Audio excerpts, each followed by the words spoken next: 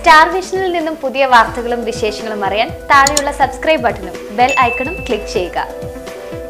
വ്യാപാരി വ്യവസായ സമിതി ഏറ്റുമാനൂർ ഏരിയ സമ്മേളനം താര ഓഡിറ്റോറിയത്തിൽ നടന്നു. സംസ്ഥാന സെക്രട്ടറി ഇ എസ് ബിജു ഉദ്ഘാടനം ചെയ്തു. Area committee president M K Sugathan അധ്യക്ഷനായിരുന്നു. ജില്ലാ പ്രസിഡന്റ് ഔസഫജൻ തകടിയിൽ മുഖ്യ പ്രഭാഷണം നടത്തി. ജില്ലാ secretary K S Mani report അവതരിപ്പിച്ചു. K S Rajagopal K Suresh Kumar നഗരസഭാംഗം V S Vinod തുടങ്ങിയവർ പ്രസംഗിച്ചു. മുതിർന്ന പൗരന്മാരെ ചടങ്ങിൽ ആദരിച്ചു.